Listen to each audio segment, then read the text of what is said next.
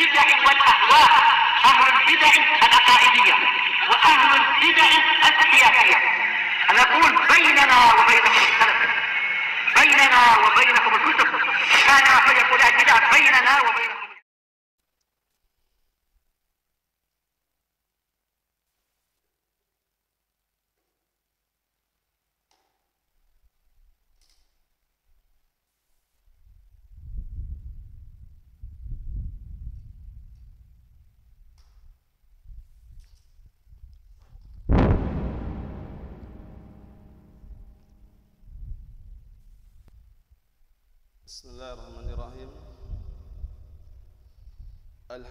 الذي أرسل رسوله بالهدى ودين الحق ليظهره على الدين كله وكفى بالله شهيدا أشهد أن لا إله إلا الله وحده لا شريك له إقرارا به وتوحيدا. وأشهد أن محمدا عبده ورسوله صلى الله عليه وعلى آله وسلم تسليما مزيدا لا نبي بعده. إخواني في الدين أعزني وأعزكم الله جميعا وبارك الله فيكم أخواتي في الله Kita lanjutkan bacaan berikutnya terhadap kitab Al-Fitan wal Hadis yang disyarah oleh Syekh Salih Al-Fauzan Aslabahullah Sekarang kita berada pada halaman 41 Qala al-muallifu aslabahullah Walahu anhu Qala akhbarani Rasulullah sallallahu alaihi wa ala alihi wasallam bima huwa kainun ila an taquma as-sa'ah fama minhu syai'un illa qad sa'altuh illa an lam as'alhu ma yukhriju ahlal madinah minal madinah hadis ini masih berkaitan masalah fitnah akhir zaman. Kata beliau dan juga di dalam sahih muslim anhu itu an Hudzaifah ibn Yaman. Karena ini kembali ke sebelumnya ya. Sebelumnya hadisnya Hudzaifah ibn Yaman. Wa anhu itu berarti an Hudzaifah ibn Yaman. Radhiyallahu anhu beliau berkata telah mengkabarkan kepada Rasulullah sallallahu alaihi wa ala alihi wasallam bima huwa kainun ila an taqum as-sa'ah dengan kabar-kabar yang akan terjadi sampai datang hari kiamat. Fama minhu illa qad sa'altuh maka tidak ada satupun dari tanda-tanda hari kiamat tersebut atau perkara yang akan terjadi sampai hari kiamat dan aku bertanya kepada beliau. Illa anni lam as'alhu. Hanya saja aku tidak bertanya kepada Rasulullah SAW ma yukhriju ahlal madinah min madinah? Faktor apa yang membuat penduduk Madinah keluar dari Madinah? Karena banyak orang yang keluar dari Madinah mungkin keluar karena pekerjaan keluar mungkin karena ada usaha atau keluar karena pindah lokasi benar pindah tempat seperti itu. Di sini menunjukkan bahwasanya Hudzaifah ibn Man termasuk sahabat yang dikenal dengan apa kemarin? Sahabat rahasianya Rasulullah SAW karena hampir semua perkara yang akan terjadi sampai hari kiamat beliau tahu. Karena mendapat info mendapat kabar dari Rasulullah sallallahu alaihi wasallam. Cuman satu pertanyaan yang beliau tidak tanya mengenai ma yukhrij Madinah. Apa yang mengeluarkan penduduk Madinah dari Madinah? Faktor apa gitu? Itu beliau nggak nanya. Kenapa sudah berada di Madinah kok keluar gitu loh? Padahal di Madinah itu kan sholat di dalam Masjid Nabawi itu keutamaannya besar. Ya sebanding dengan berapa? Seribu kali salat salati fi masjidi hada afdal min alfi salatin fi siwahu minal masajid. Masya Allah. Di dalam hadisnya Abdullah bin Zubair radhiyallahu anhu yang riwayat Imam Ahmad dan juga yang lainnya Imam Baihaqi kata Rasulullah SAW salat di masjidku ini Masjid Nabawi itu lebih afdal dari seribu kali salat dibandingkan apa? Selainnya dari masjid-masjid yang ada. Di nomor satu masjid mana nomor satu? Masjidil Haram. Salatun fi Masjidil Haram. Afdal min mi'ati alfi salatin. Salat di Masjidil Haram itu eh, senilai sebanding dengan seratus ribu kali salat. Kalau salat di Masjid Nabawi sebanding dengan seribu kali salat. Dalam riwayat lebih afdal daripada seribu kali salat. Kemudian kalau salat di Masjidil Aqsa itu sebanding dengan 500 kali salat makanya tidak boleh safar pergi jauh meyakini bahwasanya ada keutamaan masjid-masjid tertentu kecuali tiga masjid ini. Sebagaimana perkataan Nabi kita Muhammad sallallahu alaihi wa ala alihi wasallam la tushaddur rihal illa ila salasati masajid. Tidak boleh dilakukan perjalanan jauh safar untuk mendatangi suatu tempat dan meyakini keutamaan tempat tersebut kecuali tiga masjid. Al masjidil haram wa masjidil aqsa wa masjidi hadha. Tiga masjid tersebut adalah al masjidil haram kemudian kemudian masjid nabawi kemudian masjidil aqsa. Kita baca syarahnya qala asy-syekh Shalal Fauzan asbahullah Hudzaifah radhiyallahu anhu lahu khasiyatun ma'a Rasul sallallahu sahih. Hudzaifah ibn Yaman beliau memiliki kekhususan bersama Rasulullah sallallahu alaihi wasallam.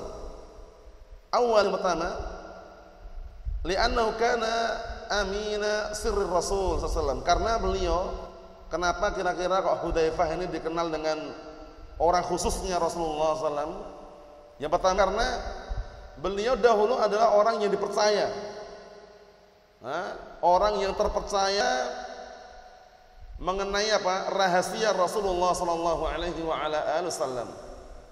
Istilahnya adalah orang rahasianya sahabat rahasianya Rasulullah Sallallahu Alaihi Wasallam. Yang masalah fitnah sampai akhir zaman beliau tahu itu tidak semua sahabat tahu gitu loh Faham ya? Wasannya yang kedua, li'anna Hudzaifah radhiyallahu anhu kana harisan soal. Dikarenakan waktu itu Hudzaifah bin Yaman beliau adalah sahabat yang paling semangat untuk bertanya. Jadi orang ketika tidak tahu bertanya itu bukan celaan. Wah kami malu kalau bertanya tidak. Kalau itu kebenaran nggak boleh kita malu.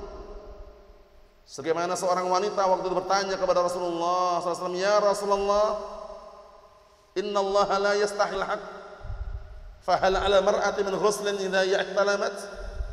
Qala na'am, idha ra'atna. Lihat, seorang wanita bertanya tentang mandi janabah, padahal perempuan. Seorang perempuan tersebut adalah Ummu Sulaim Berkata wahai Rasulullah, sesungguhnya Allah Taala itu tidak malu terhadap kebenaran. Apakah perempuan yang mimpi basah itu juga wajib mandi? Coba lihat, perempuan bertanya tentang mimpi basah. Tanya tentang mandi janabah. Apakah mandi kalau perempuan ihtilam mimpi basah? Apa kata Rasulullah SAW? Naam idha hiya Iya kalau dia melihat air mani menunjukkan bahwasanya perkara ilmu kita boleh malu. Karena rasa malu terbagi menjadi dua. Rasa malu yang terpuji dan rasa malu yang tercela. Rasa malu yang terpuji adalah rasa malu yang tabiat manusia punya rasa malu. Ya kan? Bertamu disuruh makan dia malu. Itu tabiat. Itu nggak boleh dihilangkan kalau yang itu. Faham ya? Bahkan Rasulullah sallallahu alaihi wa ala alihi wasallam mengatakan da'hu fa innal haya'a la ya'ti illa bi khair. Biarkan dia malu. Karena rasa malu itu tidaklah mendatangkan kecuali kebaikan. Itu rasa malu yang tabiat manusia ya. Rasa malu yang tercela adalah malu terhadap kebenaran.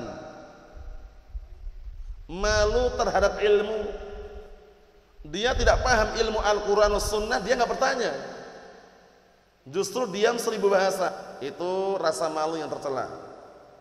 Karena di sana sudah ada anjuran Fas'alu ahli dzikri in kuntum la ta'lamun.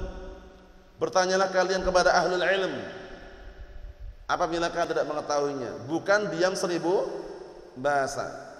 Kita lihat lagi. Yasur Rasulullah sallallahu alaihi wasallam anil fitan. Waktu itu Hudzaifah bin Yaman bertanya kepada Rasulullah SAW tentang masalah fitnah-fitnah akhir zaman. Fakana min aksarin nas ma'rifatan bil fitan maka beliau Hudzaifah bin Yaman saat itu dikenal dengan apa? Dengan manusia yang paling banyak mengetahui tentang fitnah-fitnah akhir zaman. Karena memang sahabat rahasianya Rasulullah SAW. Beliau kadang cerita, beliau mengkabarkan kepada Hudzaifah bin Yaman yang para sahabat yang lain tidak ada. Bisa dipahami ya? Illa wahidah. Hanya saja satu persoalan lam yas'al Rasul SAW anha. Beliau tidak bertanya kepada Rasulullah SAW tentang perkara tersebut. Lihat, semuanya beliau tahu. Hudzaifah bin Yaman mengenai fitnah akhir zaman. Tapi ada satu permasalahan yang beliau nah, belum bertanya, tidak sempat bertanya atau beliau tidak bertanya kepada Rasulullah SAW. Wahya ma sababu khurujihim minal Madinah? Apa sebabnya orang-orang manusia pada keluar dari kota Madinah. Padahal kota Madinah Mekah ini akhir zaman nanti kalau Dajjal sudah mulai keluar termasuk dua kota yang dilindungi. Dajjal tidak masuk ke Mekah dan Madinah, dijaga oleh para malaikat di situ. Mafhum? Naam. Tapi kenapa sebabnya mereka-mereka keluar dari Madinah? Nah, itu Hudzaifah bin Yaman waktu itu tidak bertanya kepada Rasulullah SAW. Li'annahu akhbar Rasulullah SAW annahum sayakhrujun min Madinah. Dikarenakan Rasulullah SAW mengkabarkan bahwasanya mereka akan keluar dari Madinah. Cuman sebabnya kenapa itu enggak ditanyakan waktu itu. Wa yaskununa mereka akan tinggal di luar Madinah. Ma'anal Madinata min afdalil biqa' ba'da Makkah. Masya Allah lihat. Samaan bahwasanya kota Madinah itu ada tempat yang paling afdal setelah Mekah. Tapi kenapa ya orang-orang keluar dari Madinah? Nah itu waktu itu Hudzaifah nggak nanya. Sebabnya kenapa mereka keluar dari Madinah? Cuman Rasulullah mengkabarkan bahwasanya mereka mereka manusia nanti akan keluar dari kota Madinah. Nah Hudzaifah bin Yaman tidak bertanya sebabnya kenapa keluarnya. Itu yang kita bahas. Padahal Madinah itu kota yang paling afdal setelah apa? Tempat yang paling afdal setelah Mekah itu loh. Bisa dipahami ya? Naam, kita lihat. Fahiyya darul hijrah yang mana Madinah dengan darul hijrah, negeri hijrah. Maksudnya bagaimana? Negeri untuk hijrah. Waktu itu Rasulullah SAW hijrah dari Makkah ke Madinah. Makanya kota Madinah dikenal darul hijrah. Mafhum? Seorang imam masyhur ma'ruf imam darul hijrah siapa itu? Abdullah Malik bin Anas. Abu Abdullah Malik bin Anas dikenal Imam Darul Hijrah. Mafhum? Karena waktu itu beliau ngajar di Masjid Nabawi. Naam. Wahia aidan fiyal Masjidil Nabawi, Masya Allah. Padahal di Madinah juga ada Masjid Nabawi. As-salatu fihi bi alfi salatin. Salat di dalam masjid tersebut sebanding dengan seribu kali salat. Bayangkan. Da'alaha Nabi sallallahu haramaha atau hurmaha. Artinya Rasulullah SAW mendoakannya atau da'alah Nabi SAW Rasulullah SAW mendoakan apa? Mendoakan untuk apa? Masjid Nabawi tersebut. Rasulullah mendoakan artian menyerukan mengatakan bahwasanya salatun fi masjidi ha afdal min alfi salatin fi ma siwahu min al masajid. Itu maksudnya. Di salat di Masjid Nawawi itu Rasulullah langsung menyeru mengatakan bahwa salat di masjidku ini lebih afdal daripada seribu salat dibandingkan apa? Selainnya dari masjid-masjid yang ada. Kemudian ramaha maksudnya bagaimana? Maksudnya diharamkan melakukan tindak kriminalitas di situ. Paham ya? Dilarang memotong duri-duri atau pohon-pohon ada di situ. Selama tidak mengganggu ya. Dilarang membunuh hewan buruan. Makanya dikenal dengan apa? Al-haramain asyarifain al-haramain asyarifain itu mana Makkah dan Madinah. Dinamakan Al-Haram karena di situ dilarang melakukan pembunuhan, dilarang memotong pohon-pohon atau duri-duri yang tidak mengganggu, dilarang juga apa? membunuh hewan-hewan buruan. Itu semuanya kembali hukum asal selama tidak mengganggu. Dan bukan hukum kisos. Biasanya kalau kisos itu ada di tempatnya di luar Romain. Paham ya? Nah, untuk ditegakkan kisos. Karena sebagian para ulama silang pendapat mengenai kisos. Apakah boleh membunuh nyawa karena kisos di situ di Haramain. Sebagian berpendapat tidak boleh dibawa dulu selain Haramain, eh, walaupun di Saudi Arabia ya, baru tegakkan kisos di sana. Karena memang dua, dua kota suci ini dikenal dengan Al Haramain Asyarifain. Paham ya? Nah, yaitu Al Haram Al Makki dan Haram Al, -Ma, Al Madini. Di Madinah sama Mekah. Kita lihat Kama haram Ibrahim Makkah sebagaimana Ibrahim alaihissalam mengharamkan kota Mekah. Maksudnya mengharamkan dari pembunuhan, kriminalitas, membunuh hewan buruannya. Makanya ada hadis al-fawasikul khams, lima hewan fasik atau khamsul fawasik, lima hewan fasik yuktalna fil hil wal haram. Nah, lima ini dikecualinya lima hewan fasik diperintahkan untuk membunuh baik di tanah halal maupun tanah haram. Apa itu lima hewan fasik tersebut? Nam al-fa'r, tikus. Kemudian kalajengking, kemudian ular, kemudian anjing gila, kemudian enam elang atau raja wali. Itu lima itu dikenal dengan uh, al-fawasikul khams, lima hewan fasik. Yuktalna fil haram. Boleh dibunuh di tanah hal tanah haram. Mafhum? Karena itu dikenal hewan fasik kenapa? Seringnya merusak. Antum tahu terus? Itu kelihatannya santai, tenang kadang-kala, itu kadang merusak.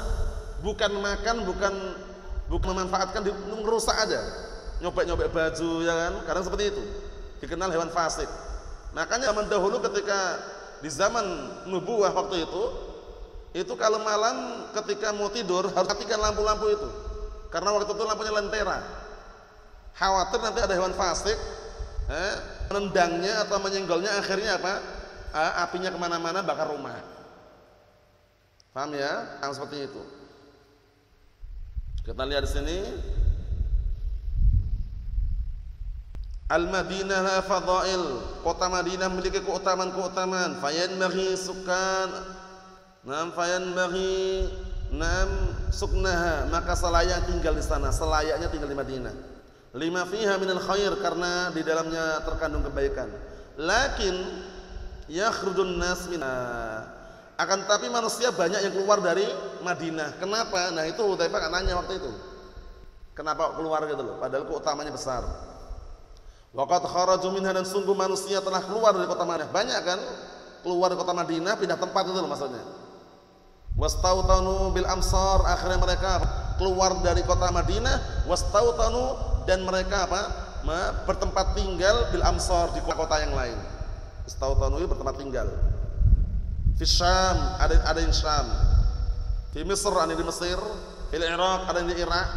Di Masyriq ada juga yang di nah barakallahu fi timur. Kharaju. Nah, mereka semuanya keluar. Ya walaupun nggak semuanya mereka keluar. Banyak manusia yang keluar dari Madinah. Di antaranya wahidul kharaj dari mal Watijara ada yang keluar dari kota Madinah meninggalkan kota Madinah pindah tempat yang lain karena harta dan perdagangan bisnis istilahnya wa wahidun jihad ada juga yang keluar dari kota Madinah karena jihad waktu itu. Wa wahidun kharaja ilm. Ada juga salah satu yang keluar dari Madinah pergi ke tempat lain karena ilmu. Paham ya? Karena mencari ilmu, pindah tempat istilahnya. Kharaju minha. Mereka keluar dari kota Madinah. Wan Nabiyyu sallallahu alaihi sedangkan Nabi SAW mengatakan al-Madinatu khairun lahum law kanu ya'mun. Kota Madinah itu lebih baik untuk mereka kalau seandainya mereka mengetahuinya. Pertama, kota Madinah dikenal dengan salah satu ya, kota yang digelar dengan Al-Haram. Ya. Nah, digabung dengan Mekah Al-Haramain. Kedua, kota Madinah termasuk kota yang tidak dimasuki Dajjal. Ketiga, kota Madinah di dalamnya ada masjid apa? Masjid Nabawi. Yang sholat di dalamnya sebanding dengan berapa? Seribu kali sholat. Makanya banyak orang yang kadang-kala berangan-angan ingin mati di Madinah, ingin tinggal di sana. Tapi banyak juga yang keluar gitu loh. Yang keluar itu sebabnya karena apa tadi? Ada yang karena dagang, ada yang karena jihad, ada yang karena ilmu. Fahuwa lam yas'al 'anis sabab fi khurujihim. Waktu itu Hudzaifah ibn Yan tidak bertanya kepada Rasulullah sallallahu alaihi wasallam tentang sebab mereka keluar kenapa. Bisa dipahami enggak? Jadi Hudzaifah waktu itu enggak bertanya sebabnya kenapa kok orang-orang keluar dari Madinah. Cuman beliau dapat kabar bahwa nanti akan banyak manusia yang keluar dari Madinah, kita ada. Sebabnya kenapa Hudzaifah tidak menanya? Paham? Nah, ternyata para ulama menyimpulkan mengambil istinbat dari dalil yang lain ya mungkin keluarnya karena jihad, keluarnya karena mencari ilmu, keluarnya karena dagang atau bisnis. Paham ya? Nah. Kita lanjut hadis yang berikutnya. 43 itu. Qala al-muallifu asbahullah walahu walahu itu sahih Muslim. Tadi dalam sahih Muslim an Abi Zaid Al-Ansari. Abu Zaid Al-Ansari namanya Amr bin Akhtab. Abu Zaid Al-Ansari namanya Amr bin Akhtab bin Akhtab eh? Amr bin Akhtab Al-Ansari An Abi Zaid Al-Ansari Amr bin Akhtab radhiyallahu anhu annahu qala صلى بنا رسول الله صلى الله عليه وسلم فجرا وصعد المنبر فخطبنا حتى حضرت الظهر حتى حضرت الظهر فنزل فصلى ثم صعد المنبر فخطبنا حتى حضرت العصر ثم نزل فصلى ثم صعد المنبر فخطبنا حتى غر الشمس فأخبرنا بما كان وبما هو كائن فعلمنا أحفظنا ما شاء الله. Lihat ini. Ini termasuk khutbah yang paling panjang dalam sejarah ini. Karena khutbah itu yang paling bagus yang paling ringkas. Tidak terlalu panjang banget. Ringkas tapi apa? Ada faedah yang bisa dipetik. Itu khutbah yang paling bagus. Nah khutbah Jumat pun nggak boleh panjang-panjang. Paham ya? Yang paling bagus adalah pendek, ringkas, padat tapi ada faedahnya. Justru yang dipanjangkan kalau memungkinkan apa sholatnya itu.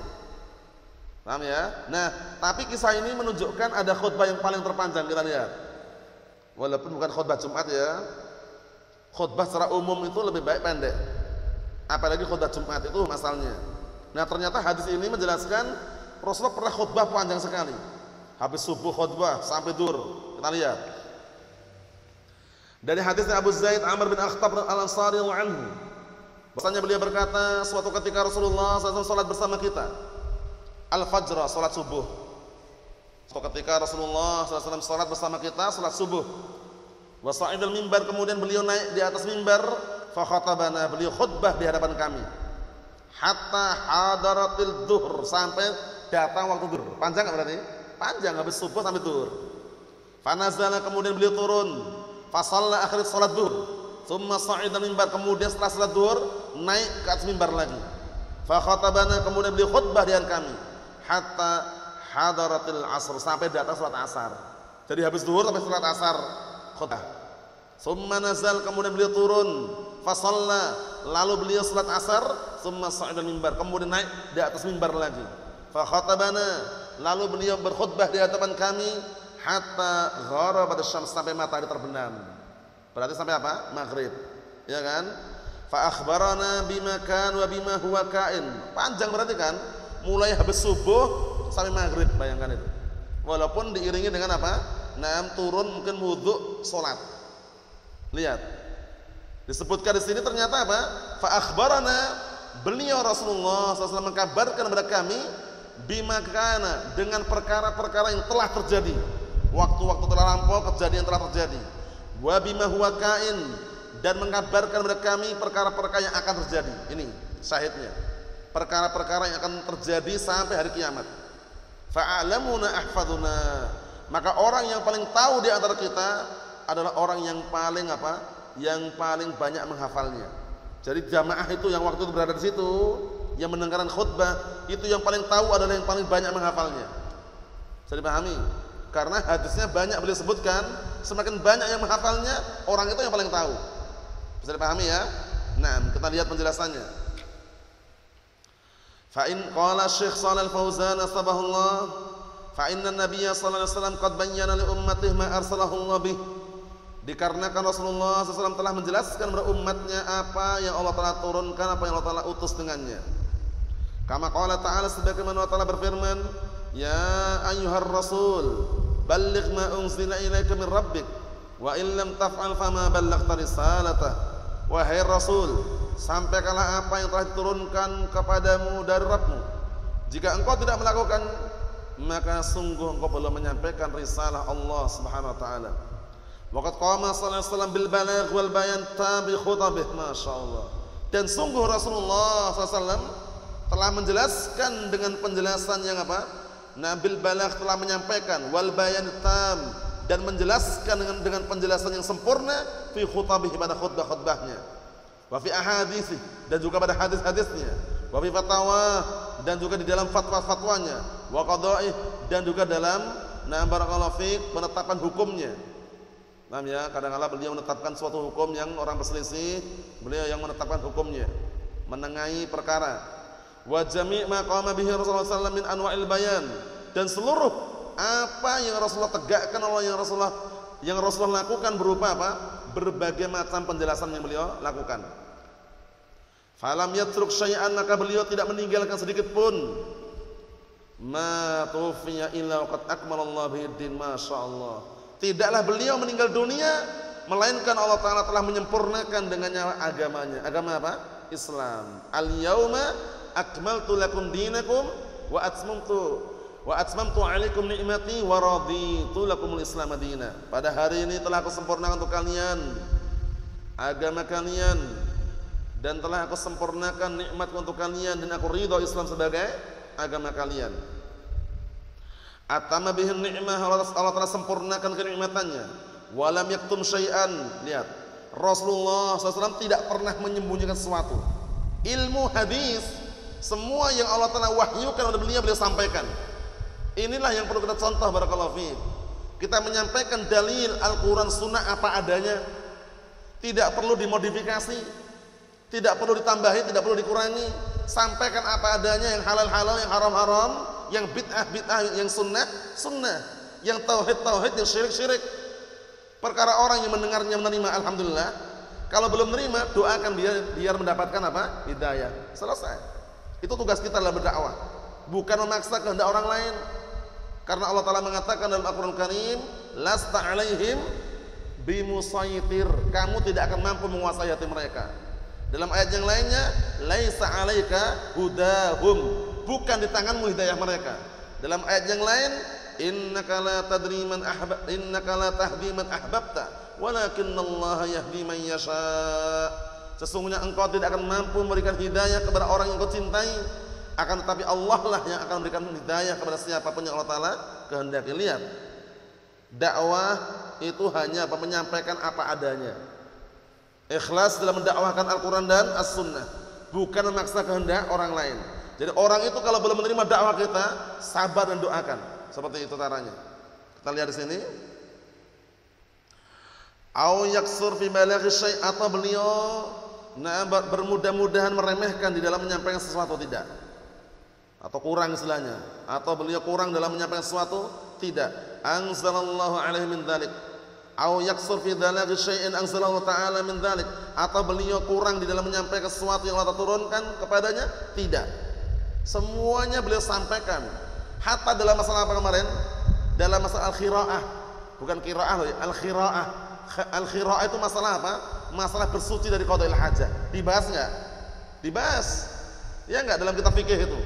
Masalah qadail hajah, masalah darah haid, darah nifas, perkara yang rinci seperti itu dibahas.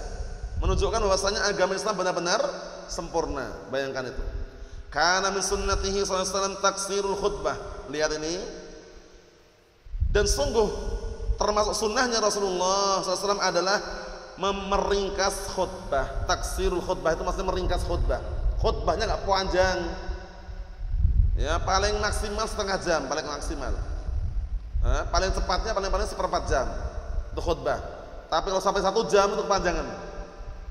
Biasanya kalau kepanjangan bikin orang malal, bikin orang malal-malal tuh bosen paham ya seperti itu kita lihat sini barakallahu fiik takhfifan 'alan nas fungsinya adalah memperingan manusia. Biar tidak apa? Nah biar mereka tidak keberatan. Karena hada min sunnatihi sallallahu ini merupakan sunnahnya Rasulullah sallallahu alaihi wa ala alihi wasallam. Khutbahnya ringkas. Waqad hatta ala qasril khutbah. Dan sungguh beliau telah memberikan dorongan motivasi untuk apa? Meringkas khutbah. Terus ketika khutbah itu kalau memungkinkan dengan suara yang lantang dan keras. Rasulullah SAW waktu itu ketika beliau berkhutbah disebutkan ka'annahu mungdiru jaishan yakul sabbahakum mamassakum seakan-akan beliau adalah komandan perang lihat. Komandan perang yang sedang apa? Memberikan arahan pada pasukannya. Tegas. Innal hamdalillah jadi bukan na'am barakallahu fi pelan, bukan eh, barakallahu fi na'am suara yang kecil ya, ini pada asalnya. Jadi khutbah itu justru pada asalnya lantang dan keras. Karena fungsinya untuk memberikan motivasi orang yang mendengarkan. Faham ya? Kita lihat ini. Naam. Wa italatus salafil jum'ah ya Rasulullah memberikan motivasi untuk meringkas khutbahnya dan memperpanjang salatnya ketika Jumat. Di antara bacaannya kadang-kadang ya itu rokaat pertama membaca surat al-jum'ah al-jum'ah rokaat kedua baca surat al-munafikun itu agak panjang kalau biasa yang normal yang kita baca rokaat pertama membaca al-a'la rokaat kedua membaca al-ghasyiyah ya kan? Cuman kadang-kadang beliau salah baca rokaat pertama al-fatihah dengan apa itu? Surat al-jumu'ah itu. Rokaat kedua al-fatihah dengan apa? Dengan al-munafikun Nah, kadang-kadang. Wa amma hadil marrah adapun pada kali ini yaitu ketika panjang khutbah tadi, fa innahu sallallahu alaihi wasallam qad atala khutbah. Maka sungguh Rasulullah SAW waktu itu memperpanjang khutbahnya. Khataba yauman kamilan, masyaallah. Beliau berkhutbah seharian penuh sempurna. Habis subuh khutbah, habis zuhur khutbah, habis asar khutbah. Bayangkan itu. Masya Allah la yaqta'ul khutbah illa li salatin salawatil khams. Waktu itu tidak terputus khutbahnya kecuali dikarenakan salat lima waktu summa ya'ud. Kemudian beliau kembali. Wa yubayyin dan menjelaskan wala yuqarrir syai'an. Dan beliau tidak ngulang-ulang sesuatu. Maksudnya khutbah habis subuh temanya lain dengan khutbah habis zuhur khutbah habis zuhur temanya lain dengan khutbah habis asar gitu loh. Paham ya? Nah tidak mengulang-ulang. Fama taraka syai'an mimma kana fi zamanil madhi wa qasas zamanil madhi wala syai'an yahdutsu fil mustaqbal illa bayyanahu sallallahu alaihi wasallam fi khutbatihi hadhihi masyaallah lihat ini maka tidak ada sedikit pun nah, dari perkara-perkara yang terjadi di zaman yang telah lampau dan kisah-kisah waktu yang telah lampau, kisah-kisah waktu yang telah dahulu itu dan tidak pula sedikit pun yang akan terjadi di waktu yang akan datang melainkan Rasulullah SAW menjelaskan pada khutbah tersebut. Jadi kenapa full khutbahnya? Karena isinya menjelaskan kejadian yang telah lalu dan kejadian yang akan datang. Paham ya? Nah. Alimah hada man alimahu wa jahilahu man jahilah. Yang mengetahui ini adalah orang yang tahu dan yang tidak mengetahui orang yang tidak tahu. Maka tahulah orang yang tidak tahu, tahulah orang yang tidak tahu, tahulah orang yang berilmu, kemudian tidak tahulah orang yang bodoh itu. Karena posisinya panjang. Dzakar lin-nasi kulla syai'in hum bihaja ilaih. Rasulullah SAW menyebutkan segala sesuatu yang manusia yang mereka perlu terhadapnya. Coba bayangkan khutbah habis subuh, habis zuhur, habis asar, paham ya? Nah, barakallahu fiik. Ini juga termasuk dalil yang digunakan para ulama, bolehnya kita mengisi kajian-kajian habis salawatul khams. Habis apa? Waktu-waktu salat. Salat subuh ada kajian boleh. Eh, habis zuhur ada kajian boleh. Habis asar ada kajian boleh. Habis maghrib juga boleh, habis isya juga boleh. Paham ya? Nah, kita lihat sini. Hadil khutbah fiha dalilun ala annahu sallallahu lam yatruk syai'an lam yubayyinhu. Masya Allah. Khutbah ini menunjukkan bahwasanya Rasulullah SAW tidak tidaklah meninggalkan sesuatu kecuali beliau menjelaskannya. Wa min dzalika bayanu ma yahdutsu minal fitan fi akhir zaman. Di antaranya adalah menjelaskan apa yang akan terjadi berupa fitnah-fitnah di akhir zaman. Qad bayyanahu sallallahu alaihi wasallam khutbah Sungguh Rasulullah SAW telah menjelaskan pada khutbah tersebut.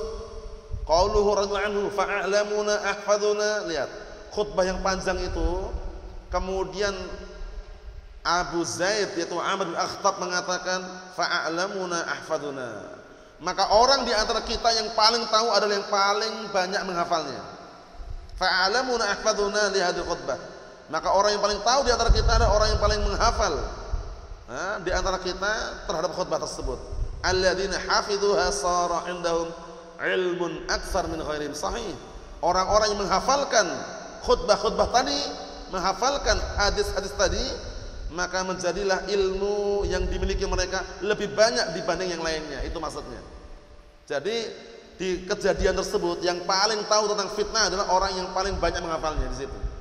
Karena panjang kemudian dia hafal semuanya. Berarti tahu isinya gitu loh ya. Nah Syahidnya barakallahu fiik. Dua hadis yang kita baca ini mengenai fitnah akhir zaman yang Rasulullah SAW mengkabarkan kepada sebagian para sahabat. Di antaranya adalah kepada sahabat yang mulia Hudzaifah Ibnu Yaman dan juga sahabat Amr bin Akhtab Al-Ansari dan tentunya di sana masih ada sahabat yang lainnya. Namun ini di antara para sahabat yang mendengar dan juga e, menerima penjelasan dari Rasulullah SAW mengenai fitnah-fitnah yang akan terjadi di akhir zaman. Karena fitnah-fitnah akhir zaman banyak sekali. Ada yang sudah kita lewati, nah, dalam artian sudah terjadi dan sekarang sedang terjadi. Banyaknya perzinaan, ya kan? Banyaknya minuman keras, itu sekarang ada. Itu juga termasuk tanda-tanda kiamat juga.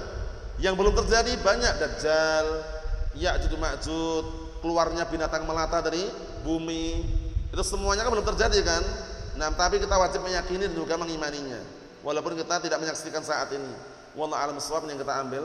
Nasallahu as-salamatul afiyah. Walhamdulillah rabbil alamin.